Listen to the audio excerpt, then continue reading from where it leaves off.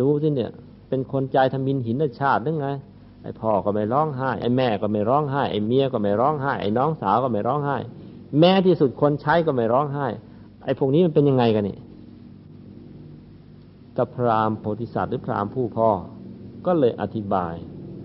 ท่านว่าอย่างนี้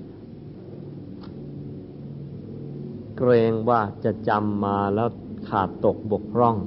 เลยจึงต้องลอกมาเพราะว่า อันนี้มันสำคัญ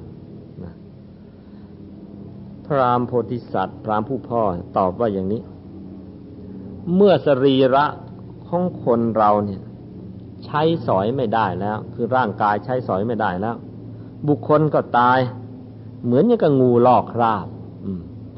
มองการตายของลูกชายเหมือนงูลอกคราบ บุคคลก็ตายเหมันงูลอกคราบเก่าทิ้ง เมื่อพวกเราเผาลูกอยู่ แม้จะคร่ำครวญเขาก็ไม่รู้ถึงความคร่ำครวญของพวกเรา เพราะเหตุนั้น ข้าพเจ้าจึงไม่เศร้าโศก เขาก็ไปตามคติของเขาแล้ว เมื่อมีชีวิตอยู่ใครทำดีมันก็ไปมันก็ไปดี ละโลกไปมันก็ไปเป็นเทวดาของมัน มันไปเป็นจากคนไปเป็นเทวดาไปร้องไห้เอาอะไร หรือถ้าไอคนไหน มันทำความชั่ว มันจะต้องไปตกนรก ก็มันทำชั่วของมัน ไม่ให้มันตกนรกแล้วจะให้มันไปไหน มันไปตามคติของมันแล้ว แม้เราจะคร่ำควรเขาก็ไม่รู้ถึงความคร่ำควรของเราเพราะเหตุฉะนั้นก็เลยไม่เศร้าโศกนี่เป็นคำตอบของพ่อครับ พ่อไม่ร้องไห้ ที่ไม่ร้องไห้นะไม่ใช่เพราะว่าไม่รัก รัก แต่ว่าก็วางใจลงไปได้ว่าเออการตายก็เหมือนกับงูลอกคราบ คนมันก็เกิดเกิดแล้วมันก็ตายมันก็วนกันอยู่เนี่ยไม่รู้จะร้องไห้ทำไม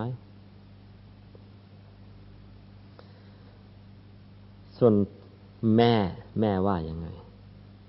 หัวอกแม่ ลูกตายนะ่ยทำไมจะไม่รักลูก แต่ว่าตัดใจได้ ตัดใจว่ายังไง แม่ว่าอย่างนี้ เมื่อบุตรของข้าพเจ้า มาจากปรโลกมาจากโลกที่แล้วนั่นนะ ข้าพเจ้าก็ไม่ได้เชื้อเชิญมาไม่ได้เรียกเลยไม่ได้เชิญมาเลย ลูกเอ้ยมาเป็นลูกแม่ก็ไม่เคยได้บอกไม่ได้เคยเชิญเลยเมื่อเขาจากไป ข้าพเจ้าก็ไม่ได้อนุญาต จะมาลาสักหน่อยก็ไม่ไล่ลา มันจะตายมันก็ตายของมันนั่นน่ะ เมื่อเขาจากไปข้าพเจ้าก็ไม่ได้อนุญาต เขามาอย่างไรเขาก็ไปอย่างนั้น มาก็ไม่ได้เชิญไปมันก็ไม่ได้ลา เขามายังไงเขาก็ไปอย่างนั้น เมื่อเป็นดังนี้ทำไมจะต้องคร่ำครวญถึงการจากไปของเขาด้วย เมื่อพวกข้าพเจ้ามาประชุมเผากันอยู่ เขาก็ไม่รู้ถึงความคร่ำครวญของพวกญาติ ดังนั้นข้าพเจ้าก็เลยไม่เศร้าโศก เขาไปสู่คติของเขาแล้วนี่แม่เป็นอย่างนี้ ถ้าพวกเราเลอลูกตาย ลูกตายเมียตาย ร้องไห้โฮโหตัวเล็กนิดเดียว แต่ร้องดังก็ช้างร้องอีก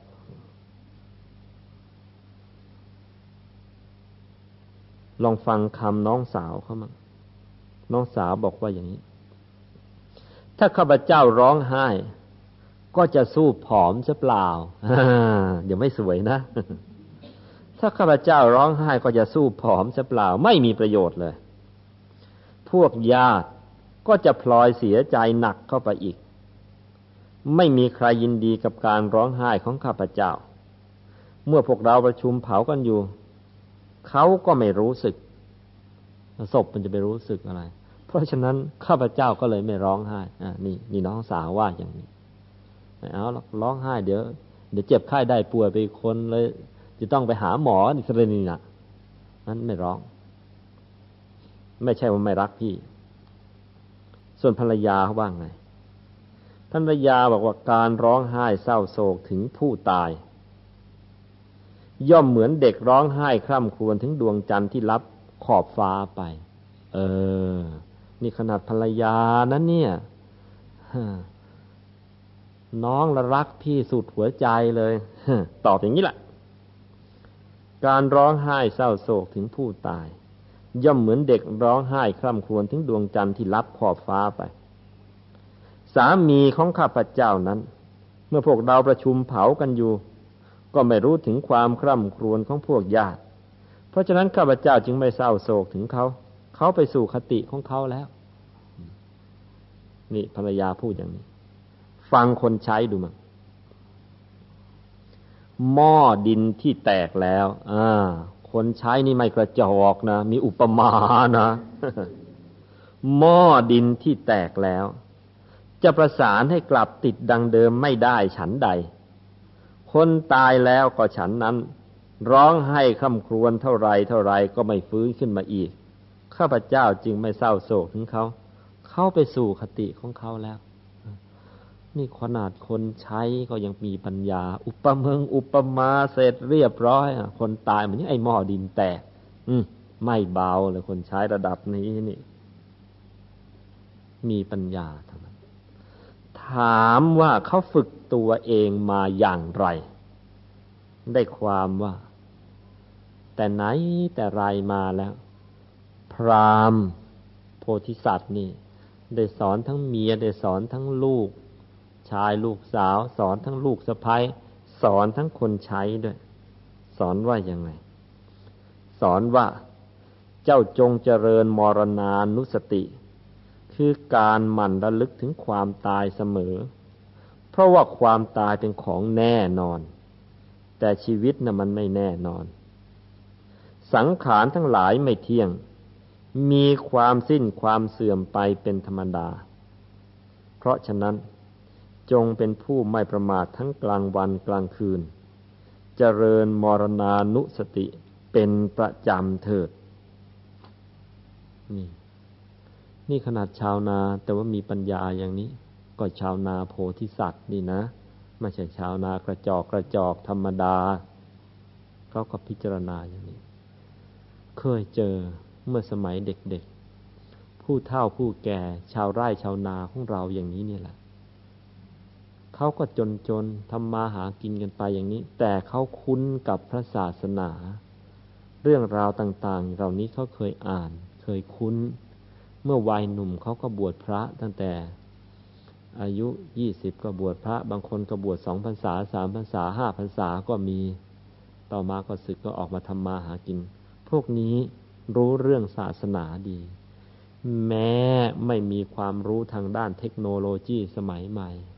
ท่านก็ทำไร่ไถนา ใช้งัวใช้ควายของท่านไปงั้นแต่ความรู้อย่างนี้ดี เพราะฉะนั้นท่านอยู่ของท่านอย่างเป็นสุข ไม่มีเศร้า ไม่มีโศกเอเอเอเอ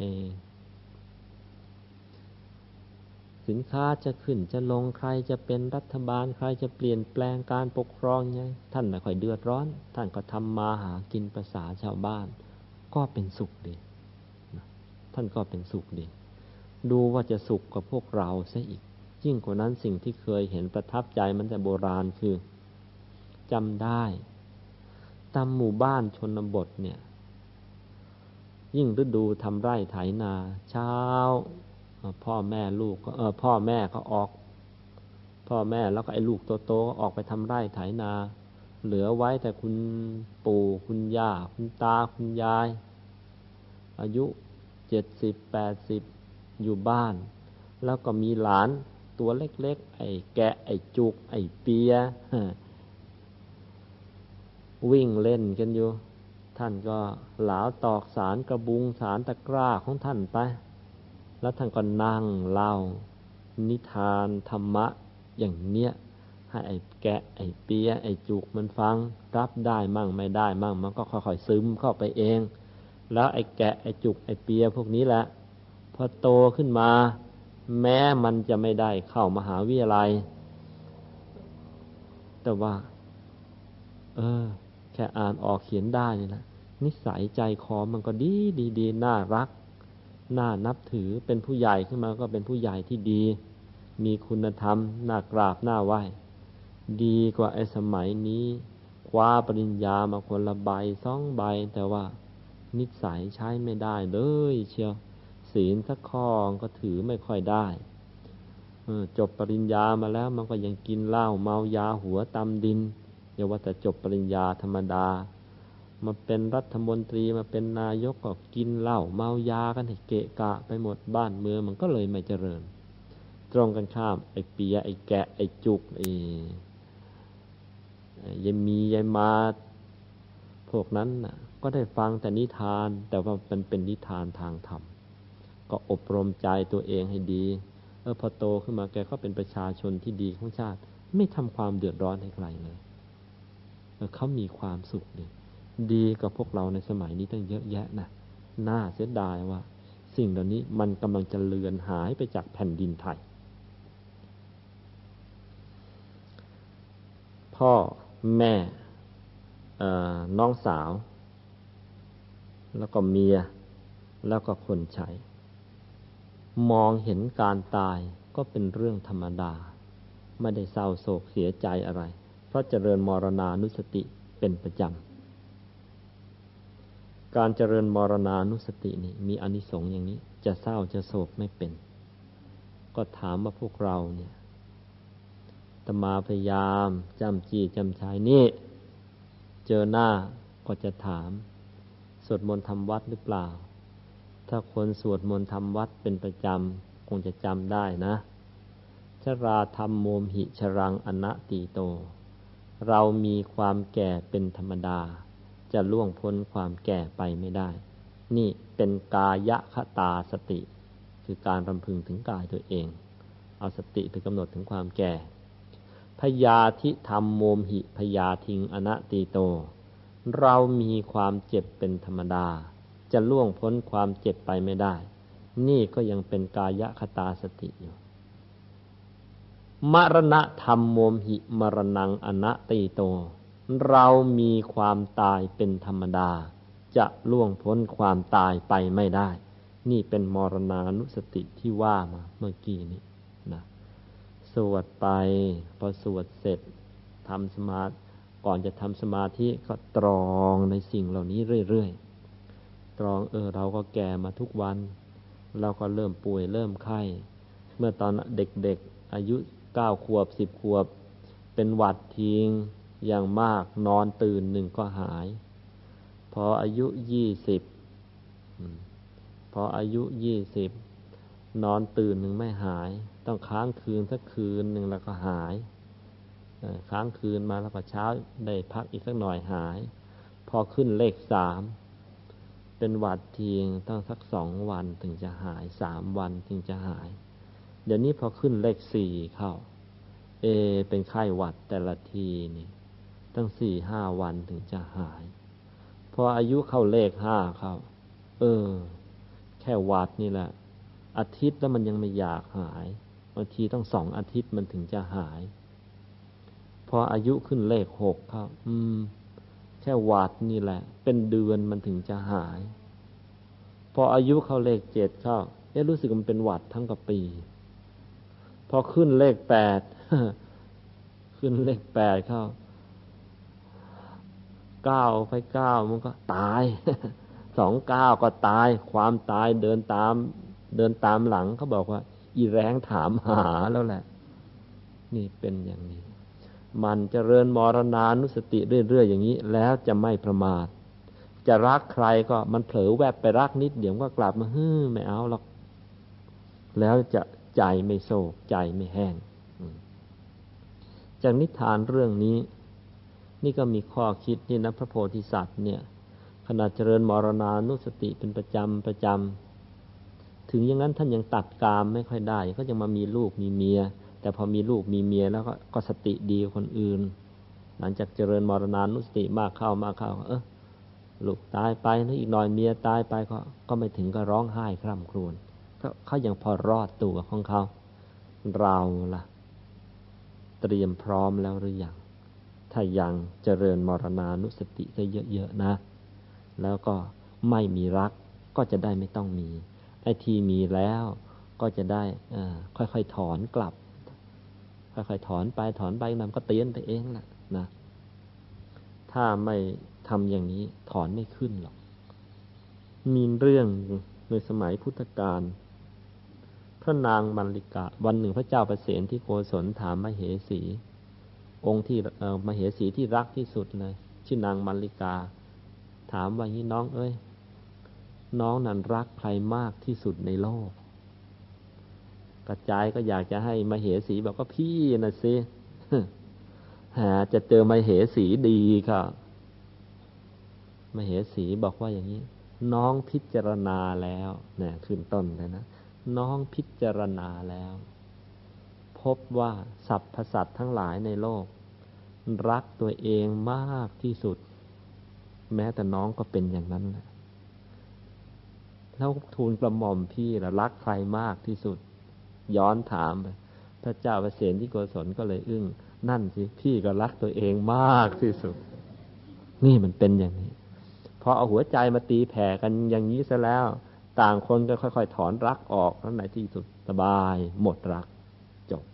นี่ที่พูดนี่ไม่ใช่ชวนให้ไปยากันนะฮะแต่ว่านี่ จริง ๆ มันเป็นอย่างนี้ทีนี้พอ ทุกคนในครอบครัวให้เหตุผลที่ไม่ร้องไห้ฟัง อิตพรามนั้น หายวับไปกับตา ปรากฏว่าเป็นพระอินทร์ปลอม เป็นพระอินทร์พระอินทร์มีจริง ๆ เมื่อสมัยมีชีวิตอยู่ก็เป็นคนอย่างกับพวกเรานี่แหละแต่ท่านเป็นนักสังคมสงเคราะห์ชั้นเยี่ยม เป็นนักสังคมสงเคราะห์นักสังคมสงเคราะห์ชนิดที่ อยู่กับศีลอยู่กับอยู่กับศีลอยู่กับธรรม ถือศีลแปดตลอดอวันโกนวันพระนี่สือถือตลอด มีสิ่งใดที่ช่วยเหลือทุกมนุษย์ได้ทำเต็มที่สินแปดสินห้าการเจริญภาวนาทำเป็นปกติ และที่สำคัญที่สุดมีบุญใหญ่อยู่ก้อนของพระอินทร์คือเลี้ยงบิดามารดามาอย่างดี ละโลกไปแล้วด้วยอำนาจกุศลนี้ ท่านก็เลยไปเป็น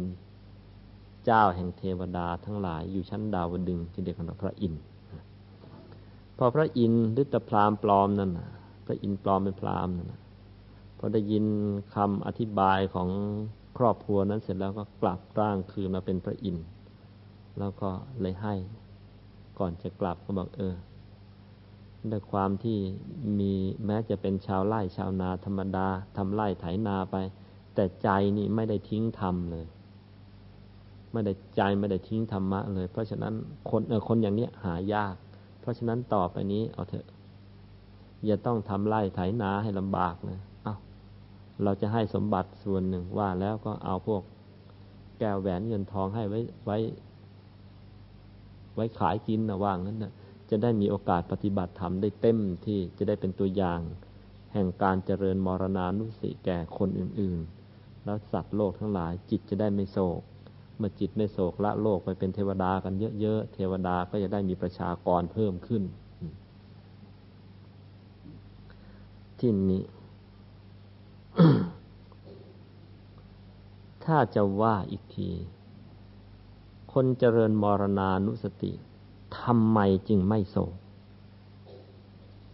ไล่เหตุไล่ผลกันนะทำไมจึงไม่โศก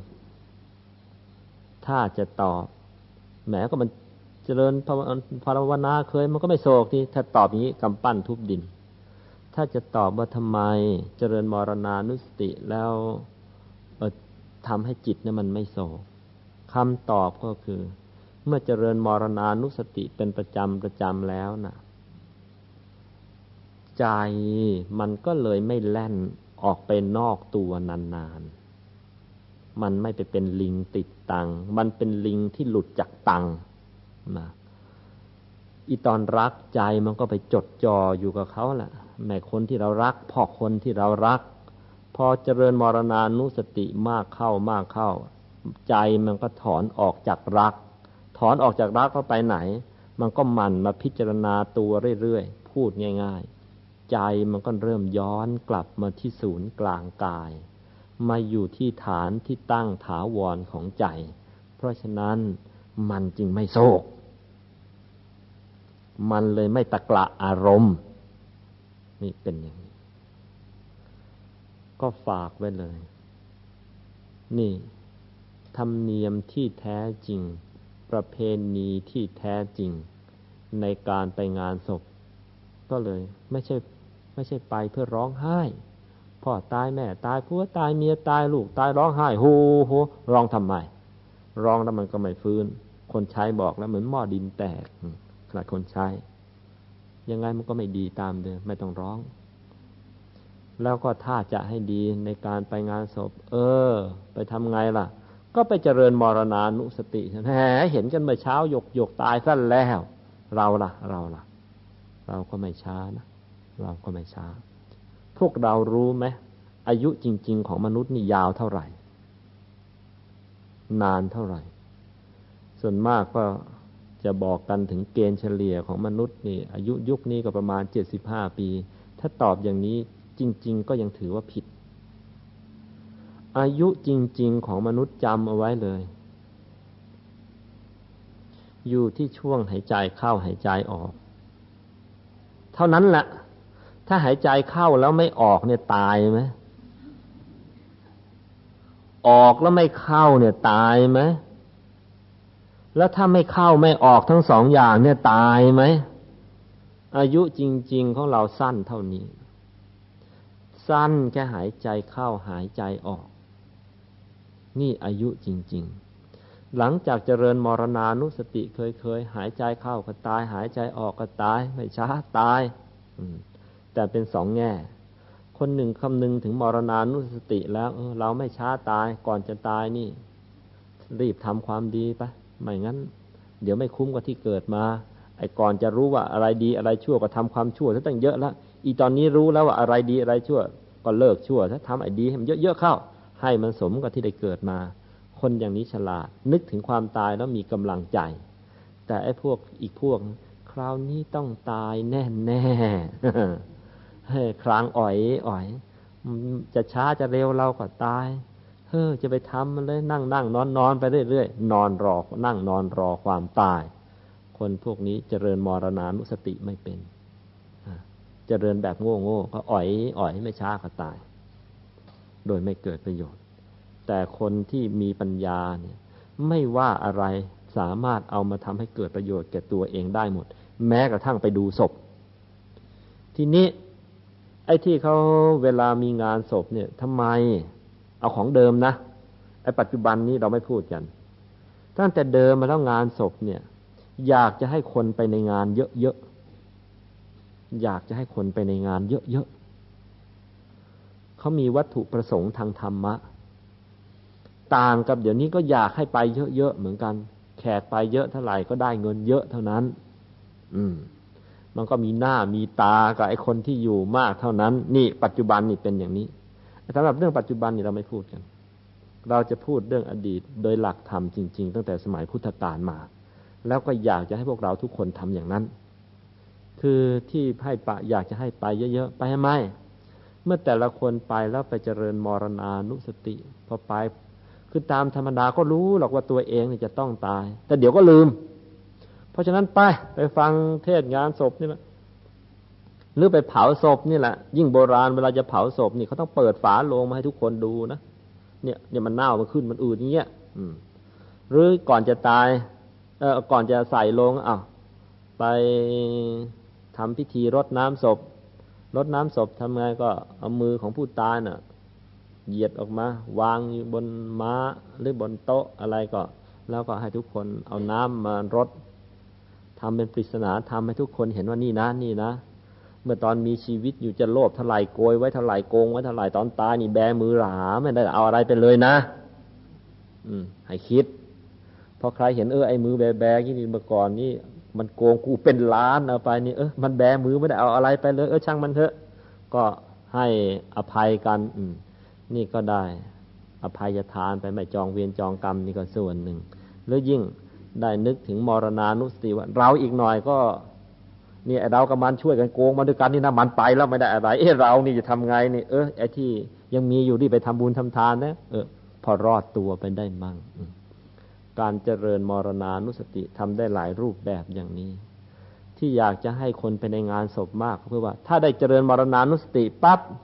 บุญก็เกิดขึ้นกับตัวของเขาเอง แล้วผู้ตายในฐานะเป็นสื่อกลางให้คนได้ได้ได้เจริญมรณานุสติ ลอยได้บุญไปด้วย เพราะฉะนั้นใครไปในงานศพมากโอกาสที่เจ้าของศพจะได้บุญก็มีมากขึ้น เพราะฉะนั้นจึงอยากจะให้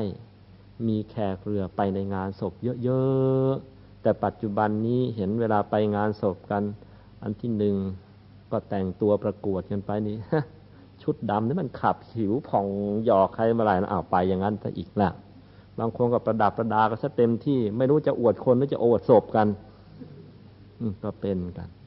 อันนี้ผิดพลาดกันเยอะแยะเลยนะไปแก้ไปไขซะอย่าเป็นกันมีอีกเรื่องหนึ่งเป็นเรื่องของกษัตริย์โบราณอีกเหมือนกัน เรื่องของจิตไม่โศกมีเรื่องเล่าว่าในสมัยโบราณเนี่ย มีกษัตริย์ แคว้นสาวัตถีนะกษัตริย์สาวัตถี ยกทัพไปตีไปตีกษัตริย์เมืองพาราณสีในในอินเดียโบราณ ปรากฏว่ากษัตริย์พาราณสีสู้ไม่ได้ถูกจับ ถูกใส่เข้าไปในคุก จองจำห้าประการ จองจำห้าประการเป็นไง เท้าสองข้างก็ถูกตีตรวน มือสองข้างก็ถูกตีตรวน แล้วก็สวมติดเข้าไปคออีกเนี่ยเป็นห้า แทนที่จะเป็นเบญจางคะประดิษฐ์คือกราบที่ประกอบด้วยองค์ห้าเปล่า กลายเป็นจองจำด้วยเเครื่องพันธนาการห้าเอา้าท่านก็ไม่ว่าอะไรเหมือนกันกษัตริย์พระราณสีเข้าไปอยู่ในคุกเข้า เอา้าเมื่อก่อนนี้ก็เคยทำภาวนามามั่ง พอเข้าไปอยู่ในคุกตามธรรมดาแหมกษัตริย์ถูกขังคุกนี่ มันเสียเกียรติฆ่าตัวตายดีกว่าอะไรทำนองนั้นเปล่าเออเสียก็เสียไป ไว้หาทางแก้ไขเอาข้างหน้าอีตอนนี้ถนอมตัวไว้ดีกว่า แล้วท่านก็นั่งทำสมาธิของท่านทำไปทำไปหนึ่งจากไอ้คนที่กระทบเหตุอะไรมาเต็มเต็มที่เนี่ยมันตัดไปได้หลาย ๆ อย่างเหมือนกัน เมื่อก่อนนี้ก็นั่งสมาธิแก้ แก้เซ็งแค่นั้นเอง อีงวดนี้เนี่ยมันไม่มีอะไรจะให้ห่วงอีกแล้ว บ้านเมืองสมบัติต่าง ๆ ลูกเมียเขายึดเอาไปจนหมด ตัวเองยังมาติดคุกเลย มันตัดอะไรได้เขานั่งสมาธิอยู่ในคุกนะทำไปทำมา ในคราวเคราะห์ก็ได้เป็นโชคในคราวเคราะห์อีกเหมือนกันทำภาวนาหนักเข้าหนักเข้า เพื่อจะให้ลืมไอ้เรื่องที่เสียบัลลังก์มาเนี่ย แต่ว่าแทนที่จะได้ความสงบใจเพียงเล็กน้อย หรือว่าทำแค่แก้กลุ่มมันไม่อย่างนั้น ปรากฏว่า ท่านได้ฌานนะสมาธิเต็มที่เขาได้ฌาน ได้ฌานเข้ากายเบาใจเบา เต็มที่เขาเกิดปิติ เลยมันเหาะได้ แต่เหาะในที่นี้นี่เหาะโดยไม่ตั้งใจคือตัวมันลอย ตัวลอยหลับตา ทำสมาธิตัวมันลอยอยู่ในห้องขังนั่นเองก็ทำสมาธิของท่านไปขณะนั้นบังเอิญกษัตริย์สาวัตถีเข้ามาพอดี ไปเจอเขาเออนี่นักโทษเราแล้วเนี่ย แทนที่มันจะเศร้าโศก มันนั่งสมาธิลอยอยู่กลางอากาศ เราฝ่ายชนะซะอีกยังทำไม่ได้นะ ก็นึก เออ คนมีคุณธรรมอย่างนี้หายาก เสียบ้านเสียเมืองเสียลูกเสียเมียเสียทั้งหมดแม้ที่สุดตัวเองก็เสียอิสรภาพ ทางกาย แต่แม้ไอ้หมอนี่เก่งจริงแฮะ ใจไม่เสีย สามารถทำสมาธิได้ คนอย่างนี้เป็นคนหายากในโลก ถ้าเราไปทำอะไรเข้าๆนี่ไม่เอาบาปหนัก ก็เลย สั่งปล่อย ขอโทษขอโพย คืนสมบัติให้ อืมไม่เอาละเรามาทำคนมีศีลมีธรรมอย่างนี้ เดี๋ยวเราตกนรก ไม่ผุดไม่โผล่กัน คืนสมบัติให้ขอโทษด้วย กษัตริย์องค์นี้แน่เหมือนกันไอ้เมื่อก่อนนี้ที่เป็นกษัตริย์ความจริงก็ไม่ได้เป็นกษัตริย์ ไม่ไม่อยากเป็นเท่าไหร่ แต่ว่าเอ้ามันตกทอดเข้ามาหลายชั่วคนมันหนีไม่พ้น เพราะความไม่ค่อยจะเต็มใจเป็นกษัตริย์นี่เอง มันถึงได้เสียบ้านเสียเมือง พอมาถึงจุดนี้เขาจะได้มาอีกมันก็ไม่ได้เกิดประโยชน์อะไรแล้ว ท่านก็เลย พอกลับไปถึงบ้านเมืองท่าน เวนคืนสมบัติให้พวกอำมาตไปเสียแล้วตัวเองก็เลยออกบวชไปพอตัวออกบวชเข้าประชาชนเลยออกบวชตาม อืม ตามกันเป็นแพรไปเลยไปออกบวชจิ จิตไม่โศกนี่โบราณเขาก็ทำกันมา เพราะฉะนั้นก็ฝากไว้กับพวกเรา ในคราวเคราะห์ในคราวมีทุกข์ จะมีทุกข์จากเรื่องการงาน จะมีทุกข์เพราะจากลูก จากเมีย จากผัว จากเพื่อน จากอะไรก็ตาม อย่าให้ทุกข์อันนั้นน่ะ มันท่วมเข้ามาถึงใจเลยทุกข์แค่กายก็พอแล้ว ยามป่วยยามไข้ก็ทุกข์แค่กายพอแล้ว อย่าให้มันมาทุกข์ถึงใจ ใจรักษาเอาไว้ แล้วข้อสำคัญนะกษัตริย์องค์เนี้ยที่ว่าเป็นตัวอย่างเนี่ยแกเป็นคนที่ไม่ติดสมบัติ ในกรณีแรกนั้นในกรณีของอิตาพรามนั่นลูกตายนั่นอะลูกก็รักหรอกแต่ไม่ถึงกระหลงลูก เพราะฉะนั้นพอตายก็ก็ไม่อะไรกันนักกันหนา กษัตริย์นี่ก็เหมือนกัน เอาละสมบัติมีก็ปกครองกันไป แต่ว่าไม่ถึงกระหลงสมบัติ